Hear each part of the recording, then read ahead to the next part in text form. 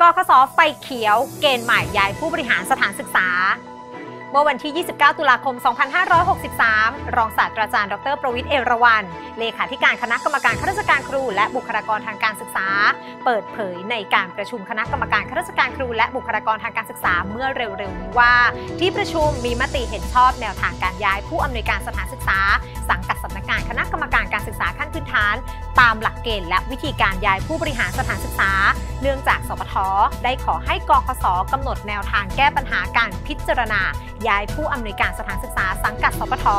กรณีที่มีตำแหน่งผู้อำนวยการสถานศึกษาในสถานศึกษาขนาดใหญ่ หรือขนาดใหญ่พิเศษว่างหลังจากการย้ายครั้งแรก และไม่มีผู้อำนวยการสถานศึกษา ในสถานศึกษาขนาดใกล้เคียง ยื่นคำร้องขอย้ายมาดำรงตำแหน่งผู้อำนวยการสถานศึกษา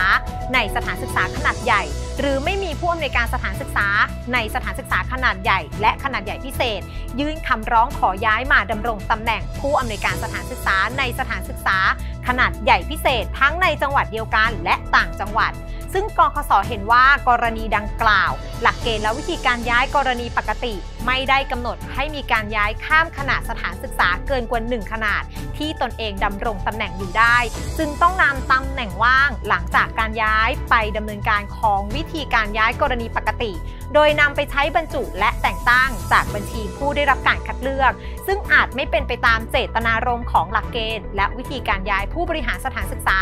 ที่ต้องการให้ผู้บริหารสถานศึกษา ได้มีการสั่งสมประสบการณ์เป็นลำดับ นอกจากนี้ที่ประชุมยังเห็นชอบแนวทางการดำเนินการทบทวนมติกคสกรณีผู้ไม่มีคุณสมบัติเข้ารับการประเมินตามหลักเกณฑ์และวิธีการตามว13ทับ2556 ประจำปี 2559 จำนวน 1,933 ราย โดยกคสพิจารณาแล้วเห็นควรดำเนินการพิจารณาคำขอทบทวน เฉพาะบางกรณีที่ไม่มีประเด็นฟ้องคดีปกครอง ส่วนกรณีที่มีการฟ้องคดีปกครอง ให้ชะลอการดำเนินการไว้ก่อนจนกว่าจะมีคำพิพากษาของศาลปกครอง ซึ่งเป็นทางเลือกที่เหมาะสมในการดำเนินการให้เป็นไปโดยชอบด้วยกฎหมาย และเป็นธรรมกับผู้ขอทบทวน และผู้มีส่วนได้ส่วนเสีย เพื่อให้เกิดความรวดเร็ว และเป็นประโยชน์ต่อข้าราชการครู และบุคลากรทางการศึกษาค่ะ และทั้งหมดนี้คือ รอบวันทันข่าวสปทสวัสดีค่ะ